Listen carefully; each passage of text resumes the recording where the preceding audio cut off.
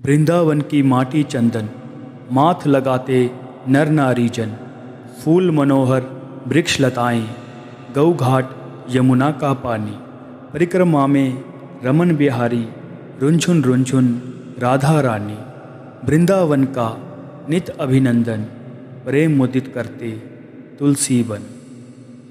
हरे कृष्णा, वृंदावन की महिमा का जितना गुणगान किया जाए, उतना कम है। कहते हैं, वृंदावन सो बन नहीं नंद गाँव सो गाँव, बंशी बट सो बट नहीं, कृष्ण नाम सो नाव।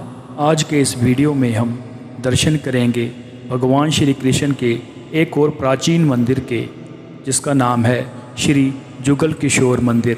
ये वृंदावन धाम का केशी घाट है और यहाँ से भी मंदिर आपको दिखाई देगा। ये जो आप मंदिर देख रहे हैं ये श्री जुगल किशोर जी मंदिर है। श्री जुगल किशोर जी मंदिर अपनी ऊंचाई के कारण श्री यमुना जी के पार से भी दिखता है। ये केशी घाट है। यहाँ पर भगवान श्री कृष्ण ने केशी राक्षस का वध किया था।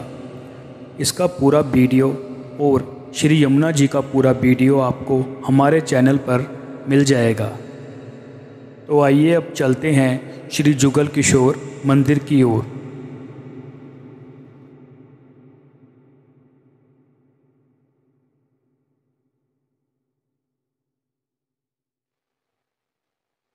ये श्री यमुना जी मंदिर है, जो केशी घाट पर स्थित है। यहीं पर भगवान श्री कृष्ण ने केशी राक्षस का वध किया था। श्री यमुना जी मंदिर का पूरा वीडियो आप हमारे चैनल पर देख सकते हैं। श्री यमुना मंदिर के साथ एक गली है।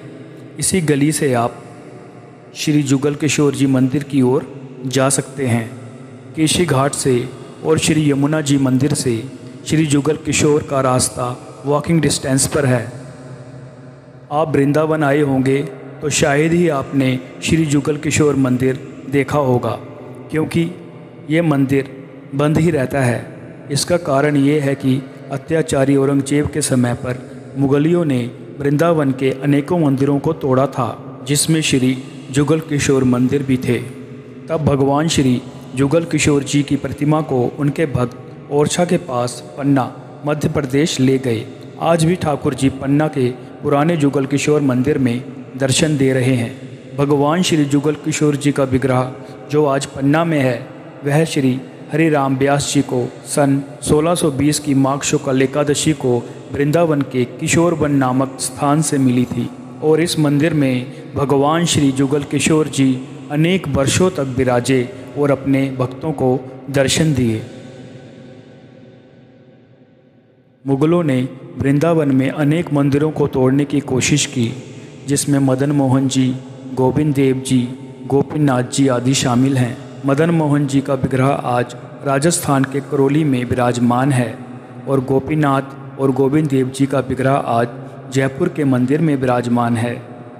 इस कलाकृति में भगवान श्री कृष्ण ने गोवर्धन पर्वत धारण किया है। श्री यमुना नदी के किनारे श्री जुगल किशोर मंदिर।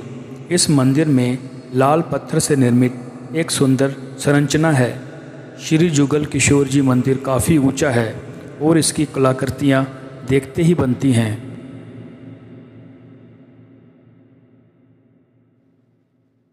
राधा मेरी स्वामिनी, मैं राधे को दास। जन्म जन्म मोहे दीजो, वृंदावन को वास।